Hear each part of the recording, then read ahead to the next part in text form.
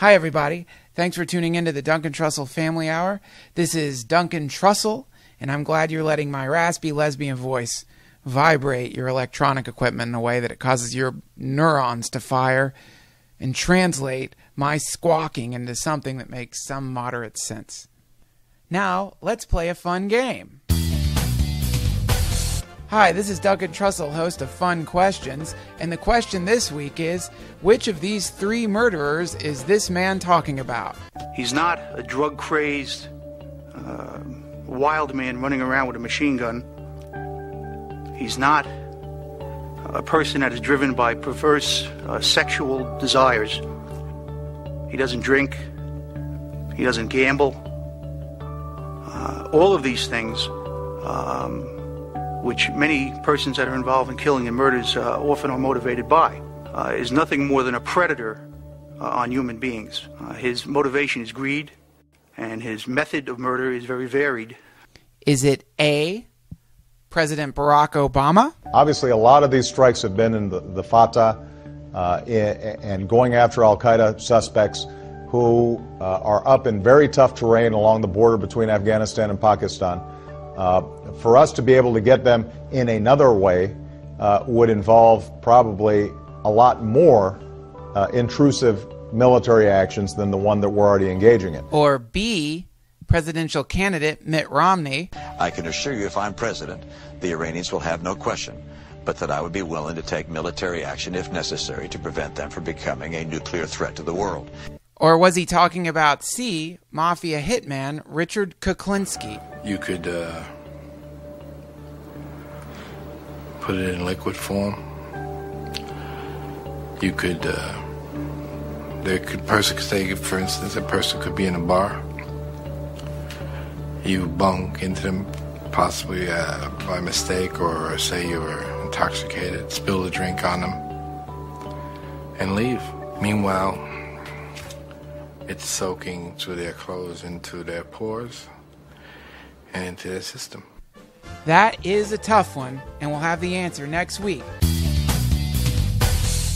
The Duncan Trussell Family Hour is sponsored by Shore Design T shirts, which is an incredible t shirt company located in Thailand that uses the tears of unicorns in the production of their amazingly soft shirts. Go check them out at shoredesigntshirts.com. If you put my name in, you will get 10% off of any of their awesome shirts. We're also sponsored by Audible. You can go to audibletrial.com forward slash family hour and you will get a free audiobook if you sign up for a trial membership, which means that you can um, cancel at any time and have a delicious, wonderful audiobook sitting in your iPod for you to listen to the next time you end up on a boring drive or making love with someone that you don't really like. You can pop in your audiobook and try to forget about the whole thing as it's happening. The Duncan Trussell Family Hour is located online at duncantrussell.com. Go check out all the other incredible episodes of this podcast that are there and join the forum. You can share your recipes with us, sex secrets, magical rituals, or any other thing that you want to talk about. It's a very open minded community, and I would love for you to join. Thank you to everyone who has donated to the Duncan Trussell Family Hour, and thank you for everyone everyone for buying t-shirts and posters from the shop. But more than anything, thank you so much for continuing to listen to this podcast. I love you guys very much, and I'm super excited about today's guest. He is an author. He's written over 14 books. He wrote the amazing book Fingerprints of the Gods. He most recently wrote Entangled. He's a world explorer. He scuba dives off the coast of Japan and takes pictures of ancient underwater cities. He drinks ayahuasca with shamans in the Amazon, and it's a great honor to have him here on the Duncan Trussell Family Hour. So, everybody, please welcome the amazing Graham Hancock, who recorded this from the UK, which means we use Skype. So, sorry for any weirdness in the sound quality. So, now please send out your psychic tendrils to embrace the pineal gland of one of the coolest people on earth, the amazing Graham Hancock.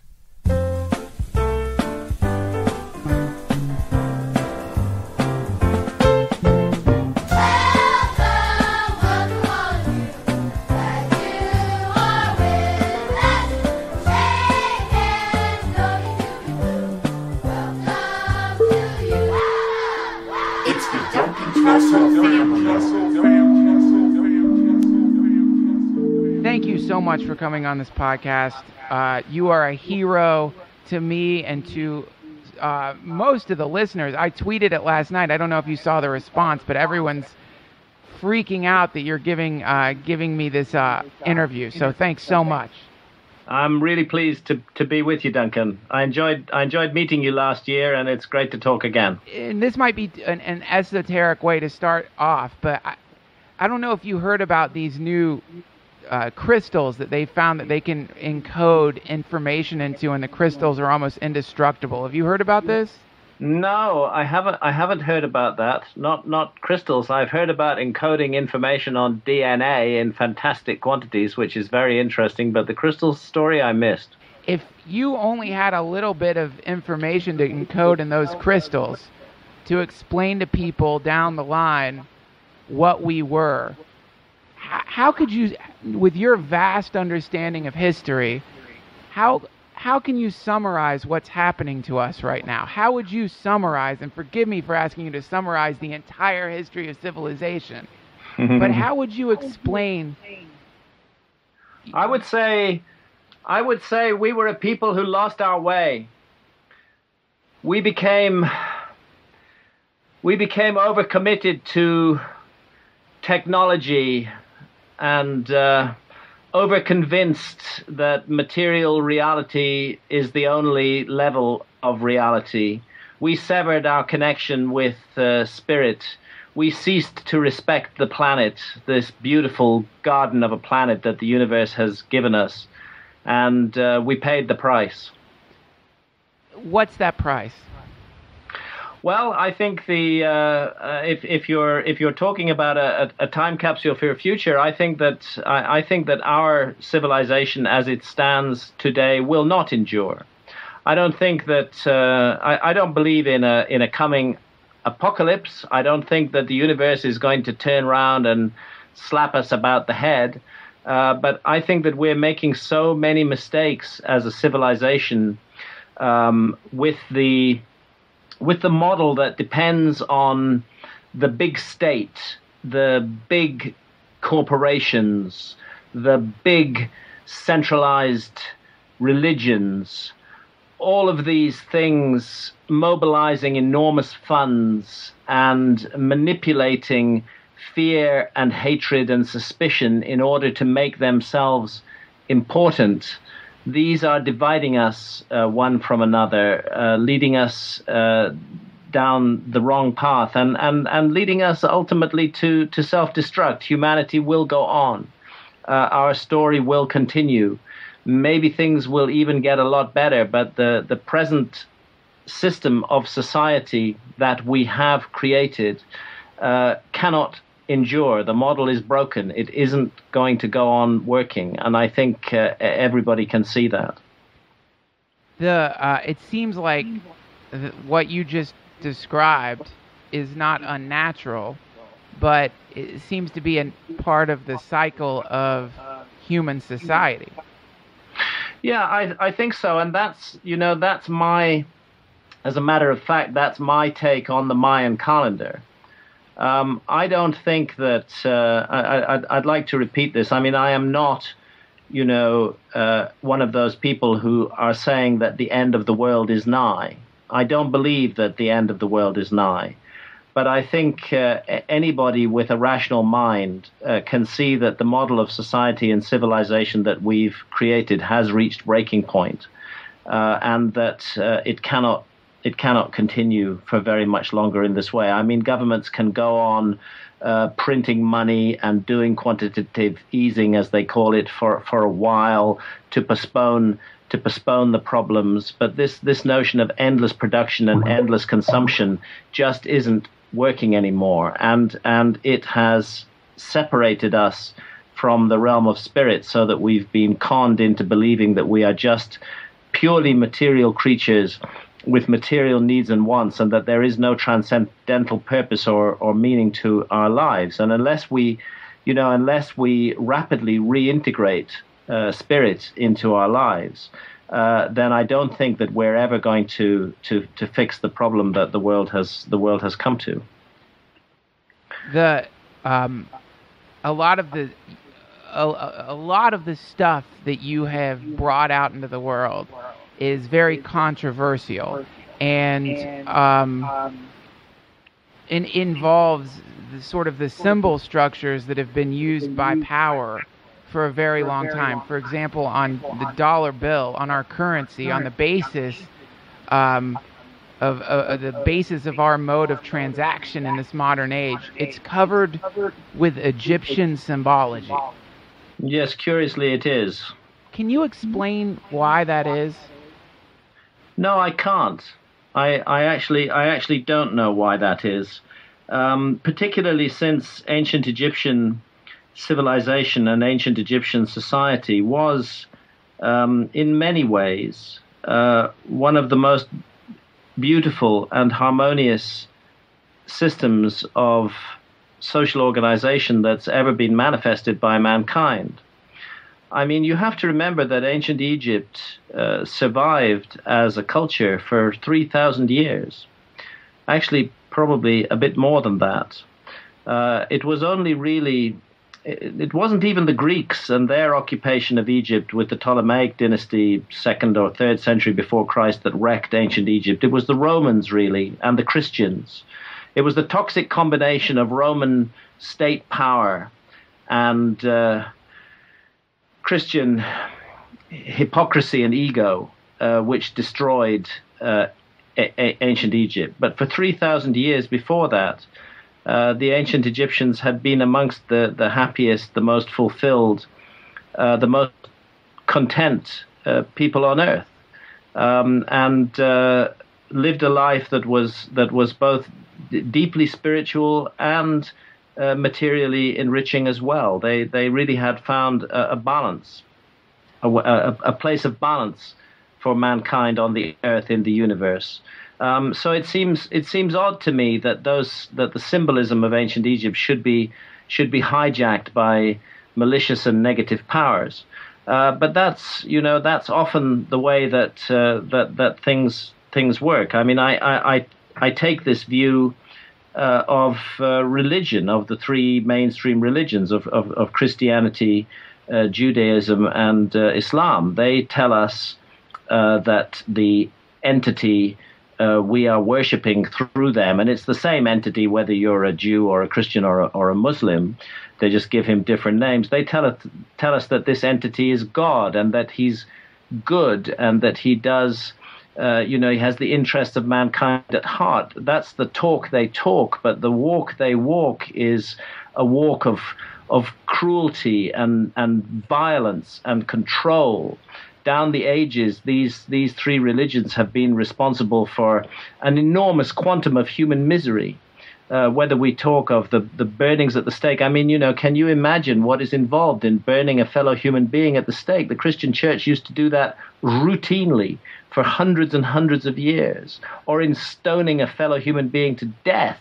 Uh, because the, their ideas disagree with yours, as as as Muslims do today, and and uh, you know somehow, what is actually clearly the behavior of a a demonic force uh, has hijacked the notion of God and persuaded us that that is that that is what it is. So I do think that dark forces are at work in the world, and that they hijack positive symbols and use them for their own purposes uh, to attempt to harness the power uh, in those symbols. And perhaps that's what's happening with the the use of ancient Egyptian symbols in undoubtedly at the heart of the power complex in the world today.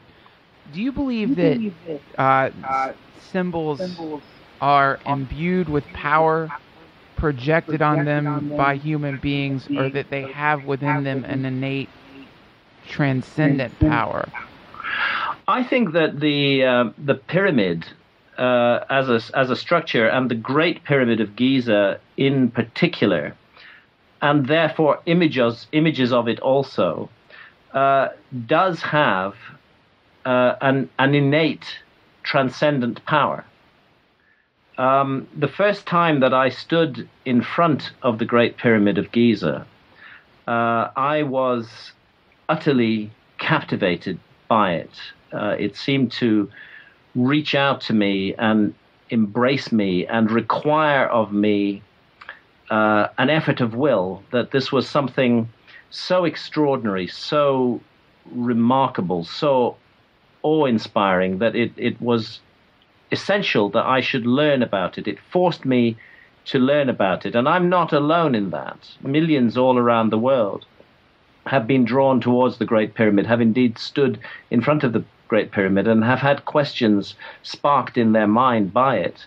And those questions do lead to a to a process of uh, self initiation uh, eventually as you go as you go along that road. If you start if you start asking yourself fundamental questions about this this thing, why this shape, why these dimensions, you start finding that interesting answers spill out.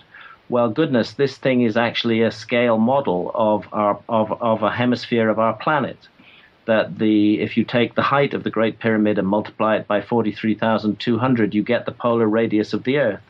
And if you take the equatorial, uh, if you take the, uh, the the base perimeter of the Great Pyramid and measure it accurately and multiply by the same number, 43,200, you get the equatorial circumference of the Earth. So somebody right there is telling us um, about our planet, the, the, the, and, and, and you wouldn't immediately grasp that from looking at it. It doesn't look like a hemisphere, it's a, it's a pyramid, but it actually incorporates the same dimensions on a scale of 1 to 43,000. It sits on latitude 30, you know, exactly one third of the way uh, between the equator and the North Pole. Um, it's astonishingly it's an astonishingly accurate uh, device weighing six million tons with a footprint of 13 acres, perfectly aligned to true north, south, east, and west. As you start getting drawn into this, you find that you're teaching yourself all kinds of stuff that you didn't know before. You're teaching yourself mathematics, you're teaching yourself astronomy, um, you're, you're uh, learning about our planet itself. Uh, and I don't think any of this is, is accidental. I think that monument was very carefully designed to evoke these questions. And although it once stood within uh, an immensely ancient system of knowledge which supported it and reinforced its message. And although that system of knowledge has largely been stripped away, the Great Pyramid continues to work its magic upon us uh, and to force us to question fundamental assumptions about our lives. That that um, it, I think what you're saying is it kind of operates not just on a uh, the, uh, the level of geometry uh, or on the on the level of um, geography, but it if it has those those aspects encoded within it, what would you say are the deeper level messages that the pyramid teaches people? The pyramid is fundamentally, in my view, um, concerned with the mystery of life and death. Uh, it's concerned with what are we really here to do? Uh, why are we? Why is our consciousness incarnated in these in these human bodies? What lessons are we here uh, to learn? Uh, th- those seem to me to be the deeper messages of the of the pyramid. If you're lucky enough to find yourself alone inside the Great Pyramid, uh, as as I have done on a number of occasions, if you're lucky enough to be alone inside the king's chamber, uh, a kind of heavy stillness descends upon you, and uh, and you discover that that uh, you're entering, you're slipping into into an altered state of consciousness. Uh, and, and, and, and whole areas of, of reality and thought that may have been closed off to you begin to become uh, accessible. There's no doubt in my mind that the ancient uh, the ancient Egyptians used the Great Pyramid as a consciousness altering uh, device and they used it to explore uh, the mystery of reality. Thus, when the ancient Egyptians talk about life after death, uh, as they do all the time in their amazing sacred texts, from the pyramid texts through the coffin texts, the ancient Egyptian Book of the Dead, the Book of What is in the Duat, they are not simply spouting off uh, religious mumbo jumbo. They are sharing with us the result uh, of centuries, of millennia, of direct exploration of the meaning and mystery of life. And, uh, and and they come to, to to very specific conclusions. And the the Great Pyramid is part of that project to find out what we're here for. Now, the one reason that people speculate that these symbols are all over our dollar bill is because, well, they don't even speculate. It's because the Masons were part of the American Revolution. And Yes. the Masons are, uh, you know, deeply into the into sacred geometry because they believe that geometry is like the I, I a mason explained this to me geometry is the first language of god or something it's the, Mhm. and so they're very they're deeply deeply into this stuff and to the point Some of them are. A lot of Masons are just in it for the beer, you know. yeah, well, yeah, yeah, uh, yes, for sure. I believe that. Yes, and and and I know that it, it, it probably functions on on many different levels, but I think it does. I think it always has. and it seems like so many things are like that that function on many different levels, and this is what I'm really curious about because there's um, one side of me which has the tendency to look out into the world and see the power structures that are happening and see what basically amounts to a kind of global vampirism in the form of the military industrial complex transforming human life transforming human life into money Mhm. that's one of the most horrific alchemies that I've that maybe's ever existed in the world at the level that it currently has, even though the alchemy's always been there in the form of slavery or anything that uses a human's existence uh, to benefit someone else in a parasitic way. Um, Yeah. It so it's it's to me I I, I and this is something I've been thinking lately maybe these symbols on money or maybe these symbols in Washington D.C. the uh, Washington Monument and the encoded Masonic symbols and the very street patterns of D.C. Maybe those are placed there by people who aren't malevolent. Maybe there's this idea of hiding from the masses or hiding from the the uh, tidal forces of society because they realize that by being in front of these tidal forces, you always get plowed over. I don't think that they're malevolent. Um, I, I think the malevolence is exactly where you've pinpointed it in the military industrial complex, in the big bureaucracies, in the the huge, uh, hugely powerful and influential mainstream religions, which just shut down the thought of millions, billions of people all around the world. Uh, they- you know, we take in we take in uh, the teachings about these three monotheistic faiths in childhood, and, and unfortunately, in the case of billions of people all around the world, these teachings are never again questioned. They just act in a knee-jerk way, like puppets being driven by these malicious and malevolent religions. So, if, I, I think if we're looking for for the presence of evil in the world today be much more effective to look at it in the mainstream churches, in Christianity, in Judaism and Islam than it would be to go off hunting for, you know, some kind of Masonic uh, conspiracy. As a matter of fact, uh, if you go back into the history of the uh, the Freemasons uh, and trace them back through the Knights Templar, uh, who themselves were exterminated and burnt at the stake by the Catholic Church. Uh, I have no doubt in my mind that Freemasonry is uh, uh, is a survival uh, of of what the Knights Templar were were aiming to do, and what the Knights Templar were aiming to do was fundamentally to undermine the power of the church, to work within it, to undermine it. There's all kinds of curious things. You talk about Washington D.C.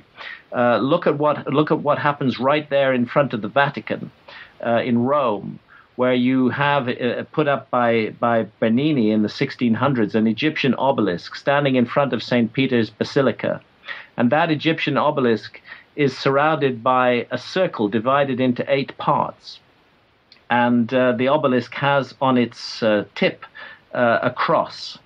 Uh, now, people think a cross on an obelisk. This is, you know, just a, one of the symbols of Christianity. But somehow, what Bernini knew uh, when he put that up, that what he had created there in three dimensions, right in front of the heartland of the power of the Roman Catholic Church, was the three dimensional ancient Egyptian hieroglyph for Heliopolis. Because that is the hieroglyph for Heliopolis, an obelisk surmounted by a cross standing upon a circle divided into eight parts, and nobody could read the hieroglyphs in the 1600s. Uh, so, as a secret message, teaching uh, the, the ancient Egyptian system of religion has been planted right in the heart of the Vatican. It's like a, it's like a huge secret slap in the face to the power of Roman Catholic Rome, which is just standing there, uh, waiting to be figured out. And again and again, I think these symbols have in fact been used in a subversive way uh, to to bring down these these hateful and dominant power structures. Yeah, uh, and, that's, and that's and, and you know that is why that is why the church hates Freemasons. As a matter of fact, you know there's a there's a whole culture in the world today of of suspicion and paranoia about about Freemasons. But when I look at their history and what they come out of, and the story of the Knights Templar, the story of the Cathars in the south of France, the, again the horrendous persecution that they were subjected to yes. uh, by the by the Roman Catholic Church, the secret societies that have emerged from that. You know, if you're existing in a power structure that will burn you at the stake if you disagree with it, it's quite a good idea to be secretive. Yes, that's it.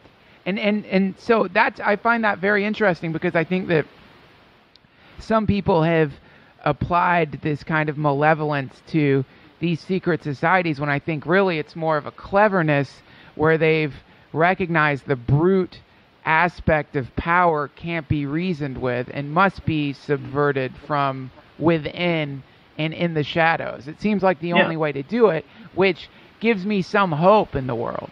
Because yeah, I, it gives I, I, gives me some hope as well. I think that's uh, I, th- I think that's how it how it works, and I think the heritage of Freemasonry is an honourable one. I'm not a Freemason myself. I've never been asked to be a Freemason, and you, you do have you, to be asked if them. you're going to join.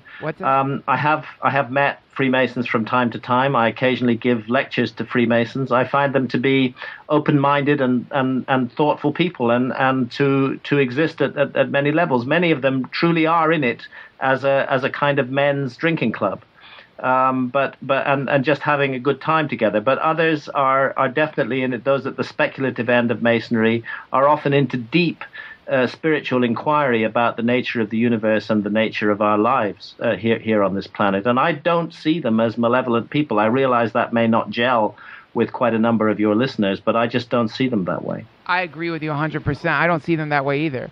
My grandfather was a Mason. I, he's the nicest guy ever. There's nothing yeah. malevolent about my grandfather. But I, I only bring it up because I'm interested in, uh, right now, my mind keeps going to this idea that um, what you're talking about uh, in Egypt, this uh, attainment of a, of a technology, which any system of governance or any, um, any way that a society is run where it can create such uh, uh powerful symbols like the pyramid, uh, that's that's an advanced technology. And yeah, but I mean, what a, what a, in a way, let's speculate. What a brilliant act of subversion to get your subversive symbol printed on every single dollar bill.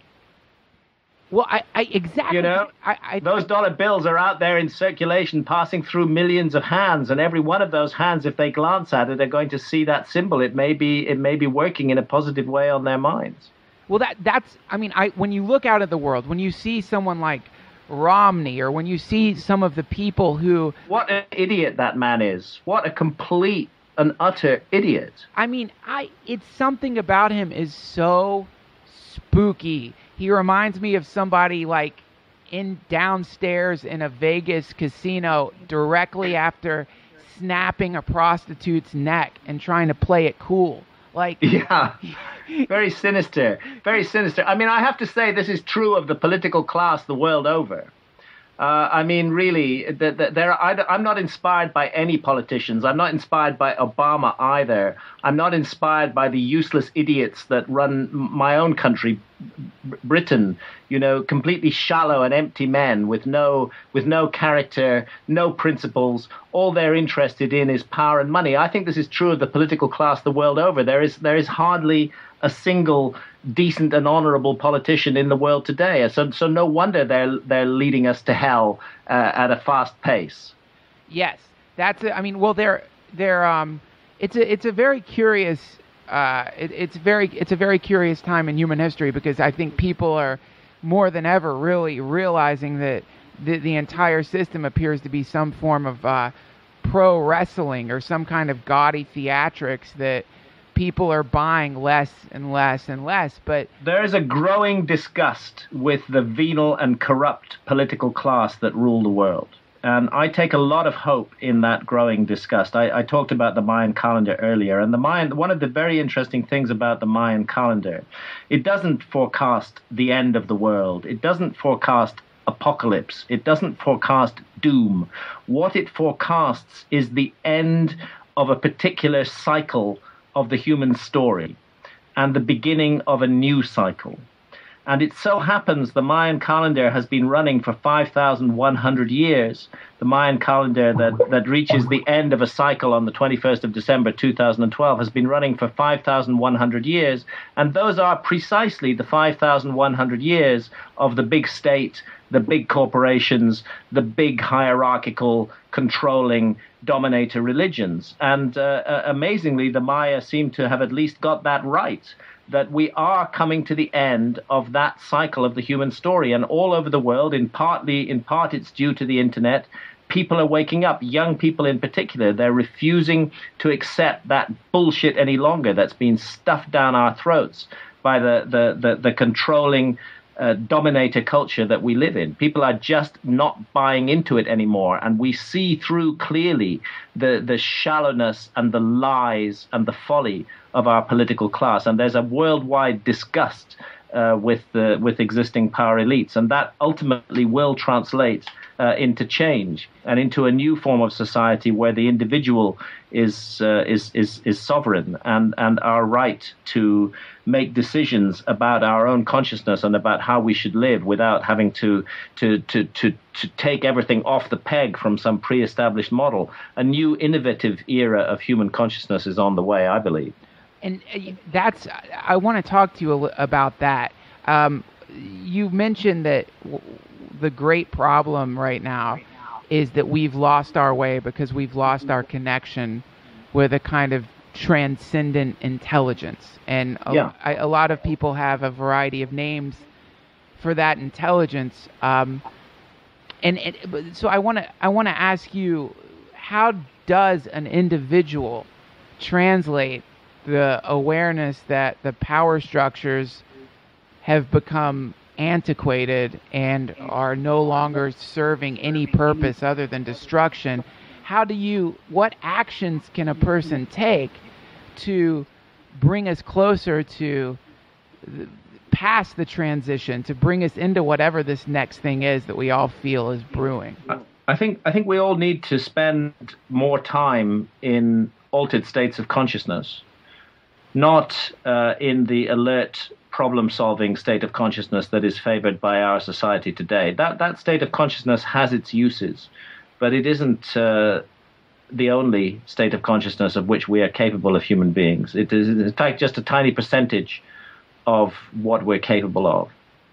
Uh, and it's not an accident that the dominator culture that we live in today uh, persecutes uh, altered states of consciousness, persecutes people who use psychedelics to explore altered states of consciousness. Um, and of course, psychedelics are not the only uh, tool or technology for gaining access to altered states of consciousness. It happens that uh, shamanic uh, cultures around the world, tribal and hunter gatherer cultures, um, whose main mode of contact with the realm of spirit is through shamanism, uh, have perfected a large number of technologies for entering the necessary trance states, the necessary altered states of consciousness. Um, in a large number of cases, those do involve the use of visionary plants, such as ayahuasca, of which the active ingredient is uh, DMT, or such as psilocybin mushrooms. But uh, in, in other cases, it involves rhythmic dancing, uh, fasting, uh, meditation, uh, sensory deprivation.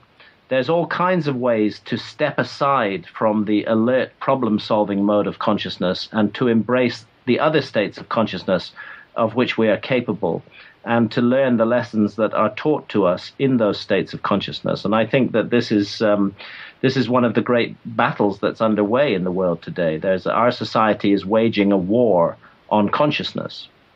Uh, it is bombarding us with um, in, incredibly, unbelievably meaningless messages 24 hours a day through television. You know, just watch watch the rolling news on television, the constant messages of hatred and fear and suspicion that are generated there. You know, watch watch reality TV shows. Um, consume that our sole purpose on this planet is simply to to consume and to consume more than our and more ostentatiously than than than our neighbors do there's just an an enormous bath of of you know completely useless and meaningless messages are constantly being uh, constantly being poured over our, our consciousness by by our society. The notion of patriotism another another one of those horrible knee jerk ideas. Why on earth should i feel more loyal to somebody else just because they happen to be born on the same piece of land than me? I don't hmm. care what piece of land they're born on. I don't care what color their skin is or in which cult- culture they were brought up in. All I care about is the ideas those people have. Patriotism tells us that we must specially favor other people who were born on the same piece of land as us and leads again to division and hatred and fear and suspicion in the world. The mainstream religions tell us that if we don't follow the, the, the, if we don't follow their point of view then we're blasphemers we're evil. You know all of this is so negative and wicked and wrong and it's all tied in to a very narrow band of human consciousness. And the way to break the chains of that is to embrace altered states of consciousness. To sit at the feet of the shamans in tribal and hunter gatherer societies and learn what they have to teach us uh, it's part of the um, uh, abuse of our society today that, that people do use psychedelics for recreational purposes. Psychedelics should not be used for recreational purposes. Psychedelic, psychedelics are sacred tools for the, for the investigation of consciousness, for the exploration of consciousness. They should be used with reverence. They should be used with respect. They should be used with proper control of the space in which the use takes place. All of this, our society has completely forgotten about. And as, as a result, uh, you know, we, we have, we have a, a, a, a situation today where we simply don't know how to use these, these powerful vehicles for transformation. Well, that's a, that's something I'd like to ask you about because I don't I don't think i I'm sure some of the people who listen have the ability to find a shaman, to make a trip to South America, to go through an ayahuasca ceremony, but not everyone does. But I think a lot of most of the people who probably listen to this podcast can definitely get their hands on some mushrooms or yeah. some form of psychedelic. So, how would you advise someone who has never taken mushrooms ceremonially or or any psychedelic ceremonially? What's something someone can do uh, what would be the perfect trip for them, or a way for them to get? Well, first of first of all, uh, f- first of all, be sure that somebody in the circle is already very experienced with using mushrooms. Right. There must be somebody there who is very familiar with the effects of uh, of of the mushrooms. Um, secondly, create a ceremonial setting. Don't just you know hang out, but Make it a ceremony. Make it a make it a special time.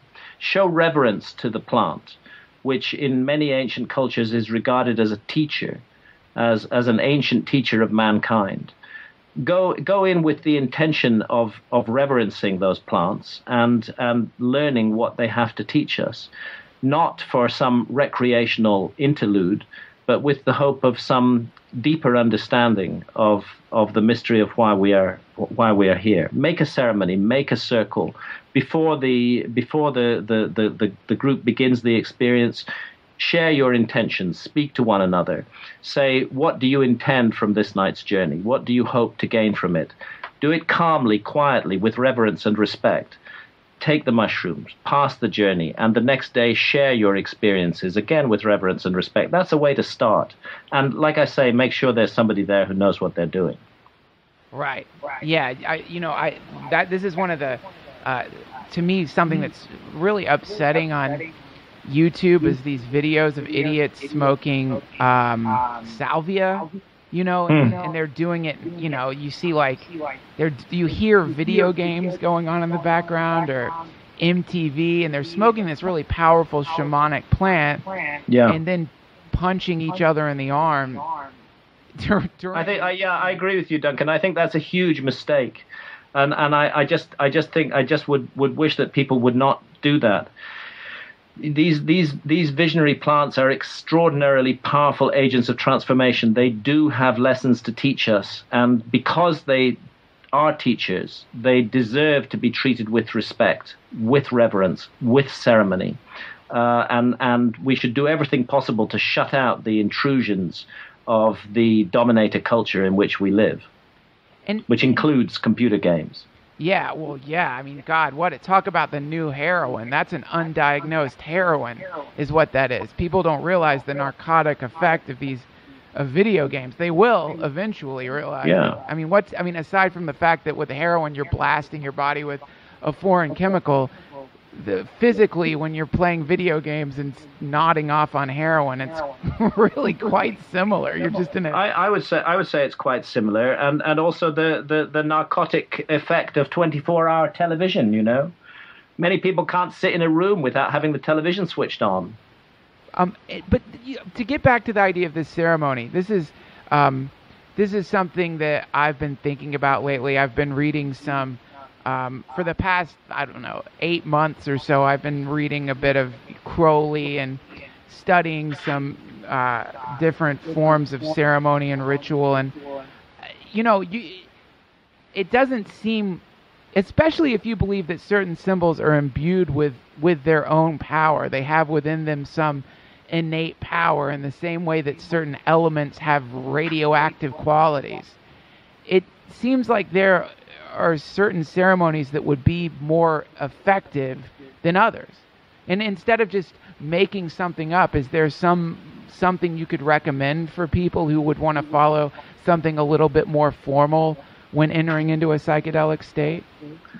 Well, I think I, I think I just recommended it. Really, um, I, the, I, I I speak most directly from experience with uh, with ayahuasca, and uh, the way that we the way that we drink uh, ayahuasca uh, is is first of all one, one amongst us is, uh, is, is enormously experienced with ayahuasca. He will uh, drink the ayahuasca with us, but he's also quite capable of of helping those who get into difficulty, and you do get into difficulty uh, with powerful psychedelics from time to time. Um, it can be a, a, terrifying experience. Often it's not, but but sometimes it can be. The utterly alien realms into which you enter and the, the the, the, the powerful intelligences that you encounter in those realms and the direct confrontations with the truth about oneself uh, can be very disturbing. So so it's very good that there should be somebody there um, who is uh, is enormously experienced with these uh, with, with these troubling effects and can help to bring calm and peace and, and, and closure to the individual who is who is troubled. It's very it's very good to do to to to do psychedelics in a group setting. Uh, where I, I, wouldn't say a large group, but anywhere from, from five to a dozen people would be, I would say, the ideal number. Um, and and uh, actually, with psilocybin, it's quite nice to be in nature uh, and to take to go with your group and and and walk into trees and, and forests and, and and just appreciate nature and listen to nature and hear the wind through the trees and see the light sparkling off the leaves and off the waters and and uh, have a, have a make a reverence for nature part of it. But with ayahuasca. Uh, typically, you're not you're not actually in quite a fit state to go walking. Uh, ayahuasca tends to make you a little bit ill uh, physically, uh, and what you prefer to do is to is to lie down in a darkened room uh, and think very carefully about the music that you have playing in the background because the music helps to guide the the journey um, and and to and to set the mood of the journey. Uh, as I said, gather together before at the beginning of the ceremony and speak aloud your intentions for the journey, what you hope to achieve from it, what you're bringing to it what lessons you hope to learn. You may not learn those lessons, you may learn other lessons, but it's a good idea to express your intent, to be there for one another uh, during the night of the journey, to help one another uh, through difficult times, and the following day with reverence, with respect, to share your experiences with one another. That would be my, you know, my outline of uh, of the way to handle uh, a, a, a ceremonial journey with psychedelics. Great. Yeah, that's that's def. I think that's probably the opposite of the way that I did psychedelics when I was in high school. The way we would do a psychedelic ceremony is go to like a, a, the deepest redneck drug dealer uh, that we got all our psychedelics from, and then go back to somebody's trailer and watch Pink Floyd and then wrestle with each other completely. Com- yeah, you know, the, no, no, no, rev- no reverence there at all. No, no, because no one, no one taught us that. No one, no one, no one taught us because our society doesn't teach us. Instead, our society teaches us to hear, to hate and fear uh, these visionary substances, uh, and creates an atmosphere of paranoia and dread around them. Uh, when when in fact they can be uh, enormously enormously nurturing. I'd urge anybody to go read Aldous Huxley's amazing novel Island, uh, which is much less well known than his other drug novel Brave New World. But Island is a beautiful, beautiful novel about um, a society that makes uh, a, a, powerful psychedelic mushroom experience a fundamental rite of passage at the age of roughly 18. Uh, this, um, yeah, Huxley. By the way, that's another point I would wish to make is um, these uh, these powerful visionary substances are not for children. Uh, this is uh, this is something that that uh, really should be should be kept until maturity is reached. Yes, yeah, I, you know, I I agree with you though. My experience with it was when I was a kid, but I sure, think, I, think, I, know that, that I know that that's the case, and that's inevitable in a society that has a war on drugs, where one cannot talk rationally and respectfully about these substances. But in a society that's open and that embraces the power of these substances, we can explain to young people this is not the time now. You're you're you're too young to really appreciate and learn from this experience. Be patient. Wait a little bit. Wait a few more years until you're ready, and you're going to get so much more from it. And then, when they know that it's not something that's permanently banned and it doesn't have that allure of the illegal, uh, but that it's something that's regarded as an important life transforming experience that's worth waiting for, uh, perhaps they would wait for it.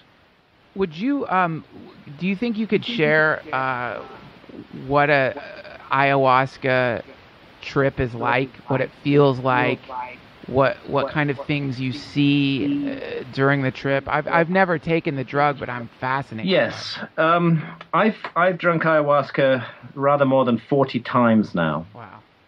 Um, and uh, by the way, it's not the case that on every ayahuasca session you have amazing visionary experiences. Uh, it's possible to drink ayahuasca and not have visionary experiences. One shouldn't be disappointed by that. The plant is doing other work with you when that happens. Um, but uh, typically, there are two there are two distinct elements to the experience, quite apart from the physical elements, which include uh, waves of uh, vomiting, uh, nausea, and diarrhea. Uh, you know, you really do have to brace yourself. This is quite a tough physical trip. Um, it's called the purge in the Amazon. Uh, and it's called that because it does have strong purgative effects. But the shamans in the Amazon regard the purging uh, as a as a fundamental part of the ayahuasca experience. That in a sense you're cleansing your body of toxins, and you're cleansing your spirit of toxins uh, at the same time uh, while this happens. Um, a fundamental aspect of the experience is what I call the life review, where you're confronted by a true picture of your own behavior towards others. Uh, this is why people often burst into tears during ayahuasca sessions because you suddenly realize that you're not such a nice guy as you thought you were, right. and that you've actually been toxic and damaging and hurtful to others. Ayahuasca shows you that mercilessly. It shows you the pain that your words and your actions have caused to others from their point of view, not from yours. It's so difficult for us to put ourselves into other people's shoes. Ayahuasca obliges us to do that, and that can be very painful uh, because I, you suddenly I, you, you suddenly realize that that uh, you in a way are putting your own immortal destiny in jeopardy by uh, the cruel words that you have spoken to others down the years, and and these come back to you to haunt you. But it's painful, but it's a vital teaching because it gives you the opportunity to change that behavior in the future, to become more nurturing, more, more loving, more consciously careful about the feelings and needs of others than you've been before. Ayahuasca is a tremendous teacher in that respect. And secondly, there's the powerful visionary elements of ayahuasca, the contact with with um, intelligent entities.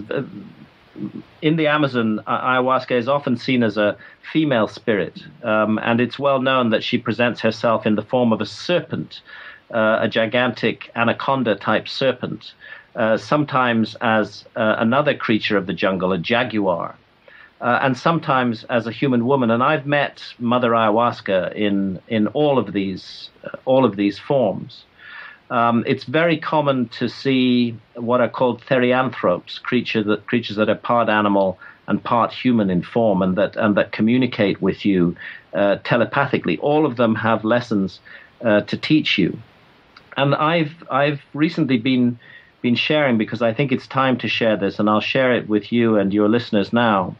Uh, something very extraordinary that has happened to me uh, as a result of the five ayahuasca sessions I did in Brazil last year.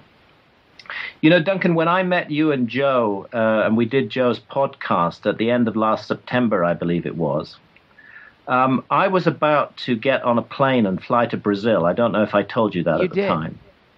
Yes, And. I was going down to Brazil to have five ayahuasca sessions. Now, prior to that trip, um, I had been smoking cannabis uh, for 24 years. Uh, I, st- I was 61 then, I'm 62 now. I started smoking cannabis quite late. I was 37 years old when I started. Um, and initially, it was a relatively small part of my life. But as the years went by, it became a larger and larger part of my life. When I wrote The Sign and the Seal, I only smoked cannabis of an evening after I'd finished writing. It was a kind of have a pipe and get a little drowsy and go to sleep. But when I wrote Fingerprints of the Gods, I was smoking cannabis from morning to night. Um, uh, let's say 14 hours a day, seven days a week, every week of the year Wow. and this carried on. Um, uh, I switched eventually uh, to vaporizer technology. Uh, one of the one of the things that I, you know I would urge anybody working with cannabis is try to get hold of a vaporizer because because um, it's much more it's much more helpful for your lungs than the combustion products in smoke. And again, if we lived in a rational society that really cared about the health uh, of of our citizens, uh, we would make the benefits of vaporizer technology much more a- available. It's just much healthier. So I last five years or so, I was I was using a, a, a vaporizer uh, and smoking steam rather than smoke. Um, but I, at certain point, I transitioned from somebody for whom cannabis was a useful ally and a friend uh, that helped me, a plant ally that helped me with the creative process and with my writing, I transitioned into somebody who was abusing cannabis. And I think that really the moment I started using cannabis uh, seven days a week and, and 14 or 16 hours a day, I became that person who was serving cannabis rather than being served by it. And uh, in the la- latter years, many friends, and, and particularly my, my beloved partner, Santha, noticed changes in my behavior, that I became increasingly distrusting, uh, that I became paranoid, uh, that I became uh, very easily a- a- angry in certain certain circumstances, ir- irrationally so. And, and this was driven by paranoia and mistrust. And I refused to accept that cannabis was in any way implicated in this. I believed that that uh, cannabis was a fundamental aspect of my life. That I would never be able to write my books without cannabis. So when I met you and Joe last September, um, I was uh, at the at the end of a, a, a of a 24 year non-stop uh, cannabis habit, and I didn't know I was at the end of it. I had no idea that I was at the end of it until I went down to Brazil, and I had five ayahuasca sessions.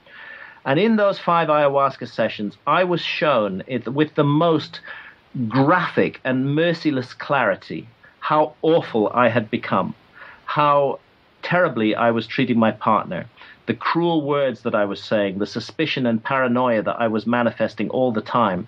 And I was shown that I was poised on the edge of an abyss, and that if I continued to smoke cannabis, uh, I would go over the edge of that abyss into into total insanity. and that I would uh, and that I would become a very harmful and toxic person. It scared the shit out of me. I've never had ayahuasca sessions so powerful as these. They turned my life completely upside down. And during these sessions, I began to voice the intent. I didn't believe that I would be able to give up cannabis. I never believed that. I, it was so much a central part of my life. And, and, and I'm not one of those people who gets really dreamy with cannabis. When I smoke cannabis, I'm actually quite focused and together. I can, I, I can write, uh, and I, do, I did write extensively with cannabis. Um, and I, I just felt it was a central part of my life, and I would never give it up, and I wouldn't be able to write books without it. Uh, but I did say during the ayahuasca sessions, uh, when we had the sharing the next day, I did say I've been shown visions of myself and I've realized I have to change my relationship with cannabis. Well, when I came back to England in October of 2011, after a long flight, the first thing I did was get my vaporizer out and fire up a big bowl of cannabis. Yes. And uh, I filled the bag and I had first puff on the bag and I was filled with a feeling of horror and self loathing. And I persisted. I took a second puff on the bag and I suddenly I suddenly just had this most terrible, awful feeling, and I realized that I could not, I physically could not continue to smoke cannabis. Ayahuasca had actually taken the matter out of my hands. I was not going to smoke cannabis anymore, and I expelled the, the, the vapor from the bag, closed it up. Over the next few days, I got rid of my stash, and I have never since that day, a full year has passed now. I've never touched cannabis again. I haven't. I haven't ever smoked it again. And this, this to me, is like a, a miracle. It's a miracle that's happened to me. Now, I don't want to put cannabis down.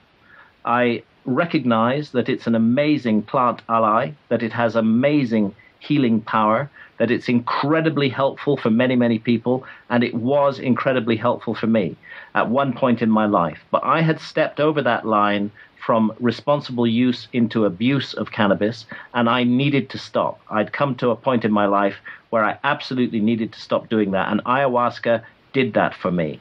I was put through the mill in those five sessions of ayahuasca. I was shown the truth about myself, and when I came back and the old habit reemerged and I tried to smoke cannabis again, I physically could not do it. I feel I feel like a new man. I feel I feel a huge monkey has been taken off my back, and far from my writing uh, being diminished by the absence of cannabis, I'm far more productive and, and, and far more uh, eloquent and effective as a writer today than I was a year ago.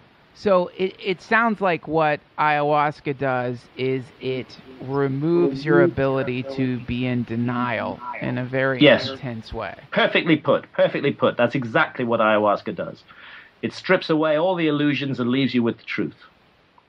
And that is why people compare it to death because so much of who many of us are is just illusion and denial. Yes, a construct a construct that we present to the world. How we want the world to see us. Ayahuasca shows us how we really are. Now, I'm listening to you, and obviously, the only thing I'm thinking is, I've got to try ayahuasca. And yes. I'm certain that many people listening now are contemplating how do we have this experience because it sounds so important, um, so evolutionary, so uh, life changing that it seems like it it's the most important thing that anyone could do. How do we do? Yep. How does someone do it? Listening? Is there a, a, safe way that they can find a shaman? Is there? Well, I, w- I would say first of all, f- first of all, if it's a, if it's at all possible, and I realize it's not possible for many, uh, travel to Peru or travel to Brazil. Uh, in both countries, ayahuasca is legal. It's responsibly administered. You're, it's easy to find people who know what they're doing with it. Iquitos in Peru um, is a place where where uh, good ayahuasca ceremonies are available. Do your research very carefully. Check it out. Check it out on the internet. Try get some word of mouth. Try get some recommendations of of uh, of good shamans. If you're not able to go to Peru or Brazil, uh, many uh, responsible, nurturing, well thought out thought out ayahuasca ceremonies are available in the United States. Again, you're going to have to find your way to the plant. Uh, you're going to have to make the journey. You're going to have to do the research. Don't expect it to just fall in your lap. Uh, but start asking, start asking questions. Start putting out feelers, and you'll find that somebody in your circle does know somebody who knows somebody who has worked with ayahuasca, and that way you can connect to the network. It is a bit of an underground network because in many states. Uh, ayahuasca is um, is completely illegal, a Schedule One drug, as a matter of fact. Interestingly, in America, one of the things I love about America is your constitution. And uh, in the Constitution, and also the spirit of independence that exists in America, even today, even in these dark times, uh, just as America is um, is the source of many of the problems in the world, so also I believe America uh, is the hope for the solution of many of the problems in the world. And that has a lot to do with the spirit of independence that continues to thrive in America, uh, where individual communities choose to go their own way and people think freely and resent the state imposing itself upon them. And one of the good things is that, that uh, in Brazil, uh, we have um, a couple of what are called ayahuasca churches. One is called the União de Vegetal, the UDV, and the other is called the Santo Daime. They um, uh, mix uh, ayahuasca use, in the case of the Santo Daime, with a certain form of Christianity. In the case of the UDV, it's more with a, a philosophical approach to the universe. Um, they uh, are recognized and established, quote unquote, churches. And in a number of states in the United States, it started in New Mexico. Uh, court actions have been fought it's gone all the way up to the Supreme Court, and the Supreme Court has agreed that members of the União de Vegetal or of the Santo Daime may drink ayahuasca uh, legally as part of their religious uh, belief. Uh, it's, a, it's guaranteed under the rights of religious freedom, rather in the way that the Native American Church uh, allows the use of peyote uh, for Native Americans, even though it's illegal for all others. In this way, ayahuasca is available in a number of states in the U.S. I believe Oregon has recently joined the list. Um, New Mexico, certainly. Uh, check out the Santo Daime and the União de Vegetal. They are enormously experienced in using ayahuasca, and they're not a bad place to start the ayahuasca journey.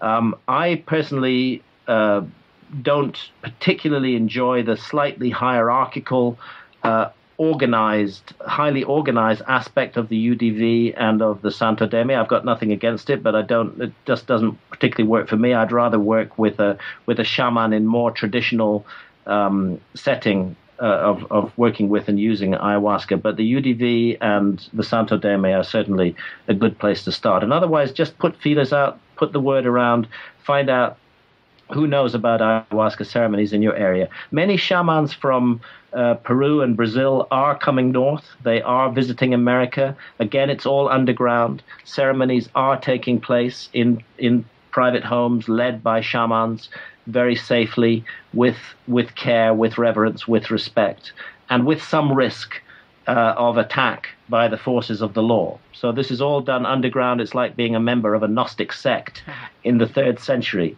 It all has to be done by word of mouth. But if you're if you're determined enough you will find your way to the right shaman, to the right facilitator, and to the right ceremony. Beautiful. Um, great. That's great. Great information. Um, I, it, it's it's uh, almost been an hour, but I, I want to talk to you about your new book before we wrap things up because you have this uh, new book which I have not read yet, but I read the description of it and it sounds awesome. It's called Entangled, right? Yes.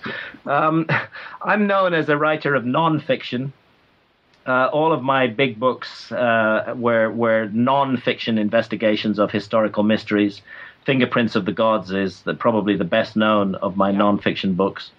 Uh, but as part of my work with with ayahuasca, I got I got signaled very strongly that I that I should write some fiction, uh, that I should write uh, a, a, novel.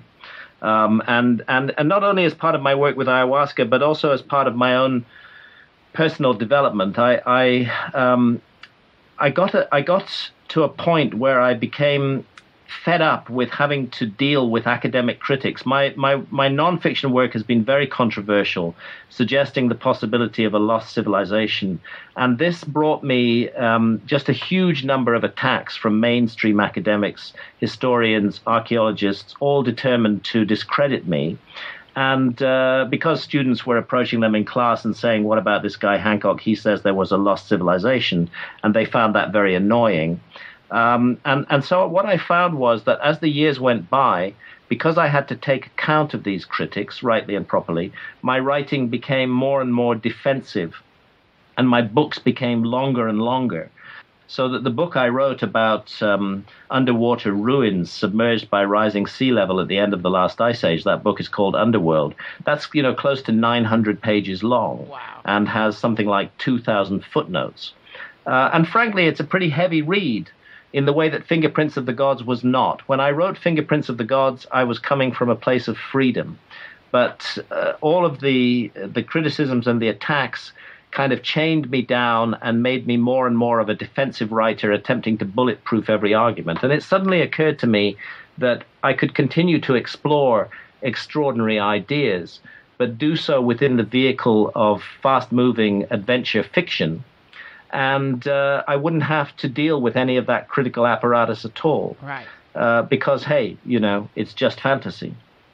so I ended up writing my first novel, which is called uh, Entangled, and it's uh, it's about the battle of good against evil. It's a time travel novel. It has uh, a young woman called Ria, 24,000 years ago in the Stone Age, and it has another young woman, Leoni, uh, in 21st century Los Angeles.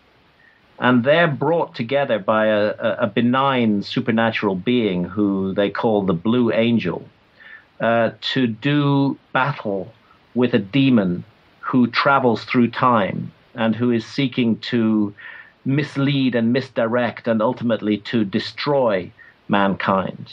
And what the novel suggests is that time itself is an illusion and that many different epochs intersect and interconnect, that time is not an arrow, not a straight line moving from past to present to future, uh, but that past, present, and future all coexist in a sort of tangled cat's cradle of spirals and cycles of time.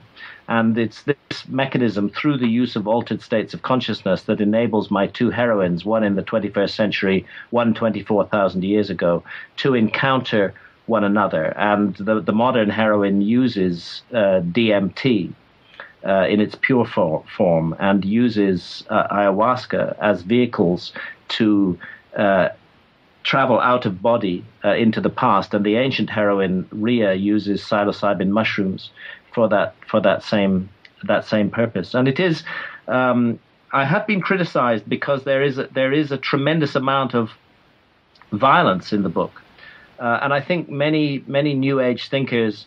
Uh, feel that uh, you, you know that somehow everything is good and the world is the universe is just wonderful and there's no evil or violence in it. But that's not been my experience, and I, I'm writing a novel about the battle of good against evil, and I felt I needed to show evil as it really is and as it manifests, and that that is what my heroines are confronting in others and indeed in themselves, and seeking to overcome in themselves. Um, I've, I've had a tremendous amount of criticism for the for the violence in the book, that as the, from people who seem to believe that we should just pretend that such things do not exist, that we just have to wish goodness and goodness will come. But uh, really, what I'm describing is a sort of Stone Age Hitler in the form of this demonic uh, entity. And uh, you know, Hitler was a case where where really he had to be stopped on the battlefield. He couldn't just be wished away with um, positive thoughts. Graham, are you at, a, at a certain point, evil becomes so powerful that there's only one way to stop it, and that's to take up arms and deal with it. And that's what the heroines in my story do. Uh, Um, Graham, and uh, Entangled is volume one of a two volume series, and the second volume is under preparation. Um, I, I wanted to, based on what you just said. By the way, that book sounds like you wrote it for me. I love you. I cannot wait to read that book. It sounds so. Well, I'd love to hear what you think of it when you have. I can't wait now. But I wanted to bring some bring something up that that, that this reminds me of a, a letter that Gandhi wrote to, um, I think Churchill, advising them to let the Nazis invade. And- Yes, that was a terrible mistake that Gandhi made. And that attitude, the attitude that I guess people are applying to your book, where they want uh, everything to be this field of flowers is not reflective of the way life is. Sometimes you have to fight. This is why sometimes you some, absolutely sometimes sometimes you have to fight. I believe I believe that that's the case. Sometimes evil becomes so bad, so awful, so so powerfully impinging on the sovereignty of others that the only way to stop it is to stand up and fight it. And I think that that's, you know, I, I think that's a conclusion many of us are coming to. And certainly violence isn't the only way to fight. Uh, but, you know, the, I think the battle involves taking the steps to find ayahuasca is its own fight, I would say. You know? Yes, it is. It is. It's it's meant to be a, a, a, a journey. It's not meant to be easy, but uh, like any quest, uh, if you persevere, you will reach your goal. Mr. Hancock, thank you so much for uh, coming on the podcast. You're a brilliant human, and I think uh, you've become a shaman. How can people find you? Okay, so um, the the easiest way, I guess, is my uh, is my website, uh, which is uh, www.grahamhancock.com, and uh, I also have a YouTube channel, which is uh, youtube.com backslash user backslash grahamhancock.com. I'm very appreciative of the time that you've given us. Thank you very much. The following is from the Holy Sons album Lost Decade. The name of the track is The Voice, and you can get it on iTunes or Bandcamp.